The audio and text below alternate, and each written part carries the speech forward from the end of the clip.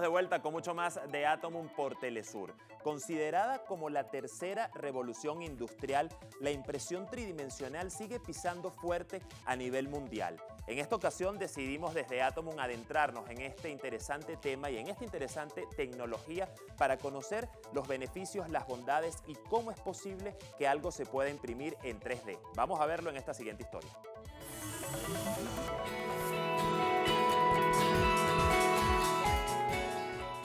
La impresión 3D tiene su génesis en 1984, cuando Charles Hull inventa el método de estereolitografía, proceso de impresión orientado a maquetas para la prueba de prototipos antes de su fabricación en cadena.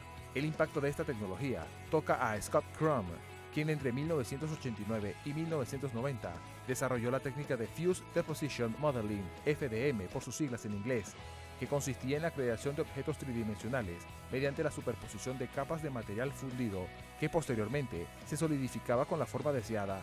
Pero con el tiempo, este método permitió una mayor difusión de la impresión 3D, abaratando costes y permitiendo a los pequeños usuarios y talleres no industriales tener acceso a esta innovación para fines propios, aspectos que definen los alcances de la impresión 3D en sectores industriales, medicina y salud, cultural, defensa, construcción, alimentario o moda, entre otros trazados por nuestra imaginación. La nueva era de la innovación y la producción industrial se está imprimiendo en 3D. Estados Unidos, China, Rusia, Europa y América Latina se están dejando seducir por la impresión tridimensional, un hito trascendental destacado por el escritor ruso Andrei Basnov, quien considera que la impresión 3D cambiará el mundo, llegando al punto de vaticinar que el artesano del siglo XXI tendrá ventajas enormes frente a las empresas de producción masiva y va a ser más parecido al DJ moderno que a un sastre de siglos pasados, una aseveración que nos demuestra el enorme potencial de la fabricación tridimensional.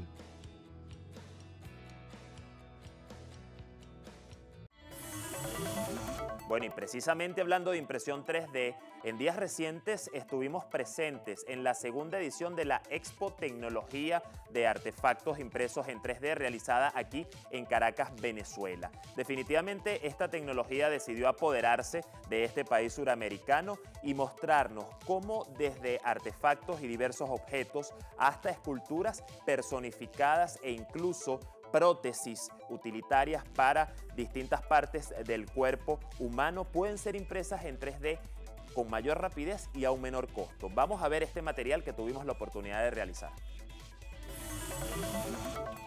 Durante la Expo Jornada de Tecnología de Impresión 3D, recorrimos stand por stand visualizando la diversidad de impresoras que permiten crear múltiples herramientas. Las hay de todo tipo, para sectores industriales, para estudiantes y para la familia en casa. Nos encontramos con las máquinas de Printer Bot, tres modelos en particular. Unas de metal y otra de madera imprimen los artículos utilizando un material conocido como termoplástico PLA, ABS, nylon o teflón. Entonces ahora vamos a poner a funcionar esta máquina. Aquí tiene el rollo, un kilo de PLA vamos a utilizar un programa que se llama Cura, que es de código abierto, y vamos a imprimir algo parecido a este cubo para que lo vean funcionando. La máquina tiene una punta caliente, calienta el termoplástico y va a imprimir desde la plataforma hacia arriba, capa por capa, en este caso el 0,2 milímetros cada uno. Tiene un sensor aquí de nivelación de la plataforma que siempre está algo movido y él por a través del software o programa va a hacer la nivelación correspondiente para que la pieza salga exacta. En algunos lugares del mundo, si no se tiene la máquina en casa, el usuario lleva su archivo digital del objeto que desea obtener en 3D y lo puede imprimir en algún sitio especializado o laboratorios con impresoras de este tipo un ejemplo rápido para esta demostración. Obviamente podemos hacer cosas de este tamaño. Hasta piezas de repuestos para automóviles o llaves son posibles obtener con la impresión 3D. Continuamos revisando y nos encontramos con dos potentes impresoras. Su sello es 3D System y sus creadores innovaron en la fórmula de inyección de plástico por superposición de capas, patente que años más tarde liberaron y hoy día es la técnica más común de impresión 3D. Un ejemplo que te puedo dar, una pieza de un tablero de un vehículo, este, muchas veces se te rompe, por decir algo, la perilla o el soporte que sostiene la guantera del carro. Conseguir esa perilla, solamente la perilla es muy difícil, te venden la guantera completa o todo el tablero. Con la impresora en 3D tú puedes agarrar, fabricar tu propia perilla y ponérsela y ya tienes una vez, o sea, ese costo en comparación a comprar todo el tablero es mínimo. Tanto el modelo Cube como la versión Cube Pro permiten imprimir piezas bastante definidas, completas y bien moldeadas a través de materiales amigables y no tóxicos con el ambiente y el ser humano. Tal es el caso de las figuras que se pueden lograr a imagen y semejanza de la persona que lo desee. Solo basta con ser escaneado por medio de la tableta y un particular dispositivo y en minutos o un par de horas se tiene una escultura de nosotros mismos. ¿Qué sucede? La cámara ella va a captar esa imagen, la va a llevar a un software que está dentro del iPad, una aplicación, y esa aplicación me va a generar un archivo ya de 3D que es compatible con la impresora. Y yo simplemente lo que tengo que después es comunicar el iPad con la impresora para que haga la impresión.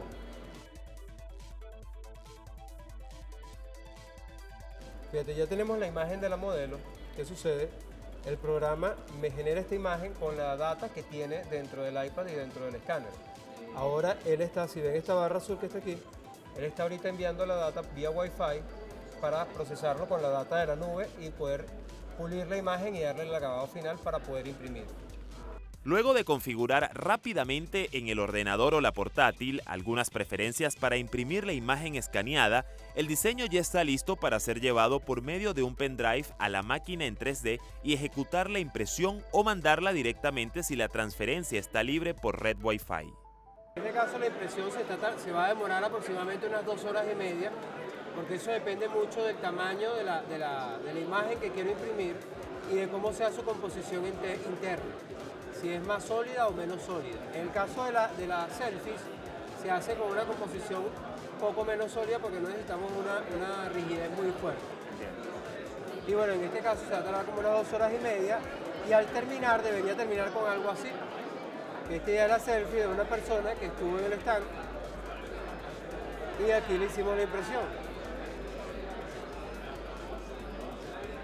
En este caso, que es como le hicimos con la chica, que es una impresión a medio cuerpo. O también podemos tener el caso de que se haga el escaneo, el selfie, se haga de cuerpo completo.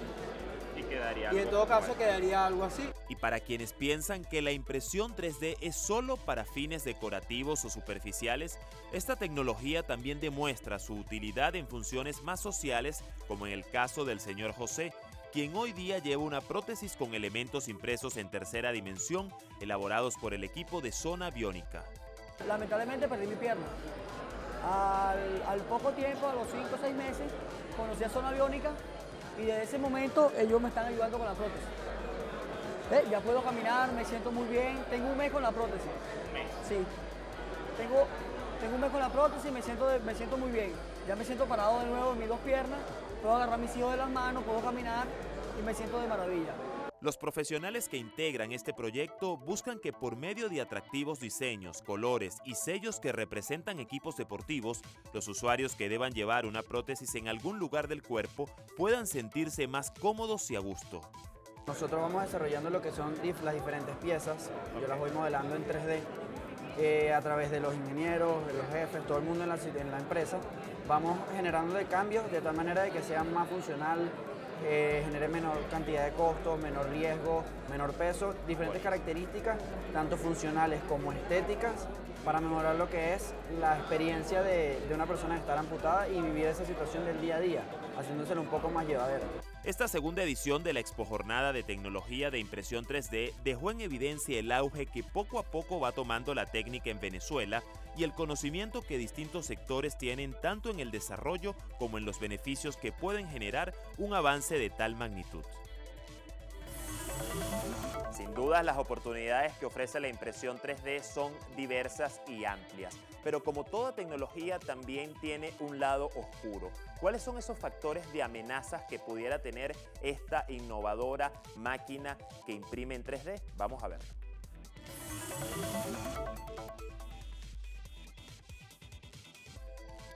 Alto consumo de energía, Las impresoras 3D consumen entre 50 y 100 veces más de energía eléctrica que los sistemas de moldeado por inyección. Alto nivel contaminante. La concentración de componentes como el PLA y el ABS representan riesgos para la salud, especialmente para los enfermos de asma. Dependencia de materiales plásticos. Utiliza mayormente plásticos como el PLA, que es biodegradable, y los filamentos ABS, que contaminan.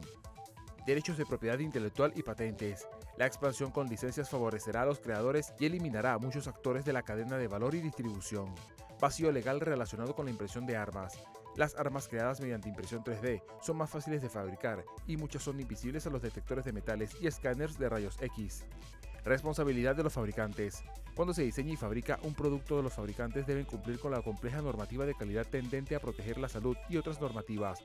Por ello, la duda en quién recaería la responsabilidad civil derivada de daños a terceros provocados por la cosa fabricada.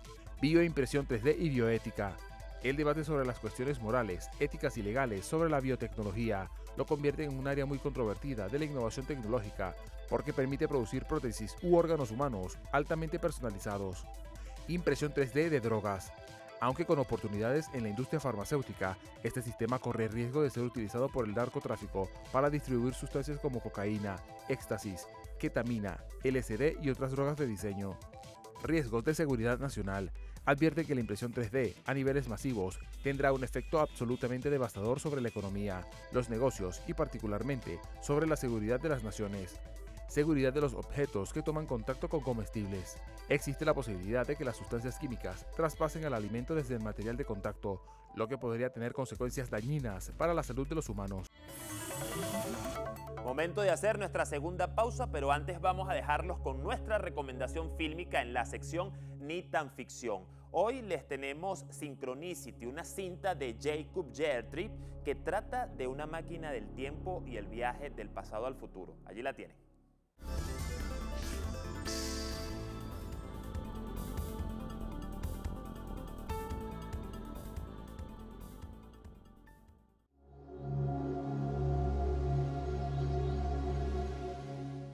Estrenada en 2015, Synchronicity nos lleva a un oscuro laboratorio de clara inspiración en los 80, con una estética entre retro y futurista para los amantes de las películas de viajes en el tiempo.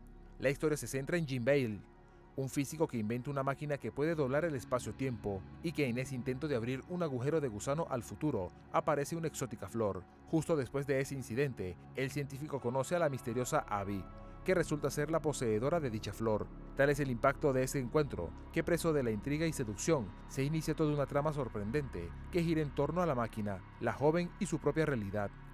Una propuesta de ciencia ficción visualmente bien lograda, con una atmósfera oscura y de espacios cerrados, como si estuviéramos en una perenne noche.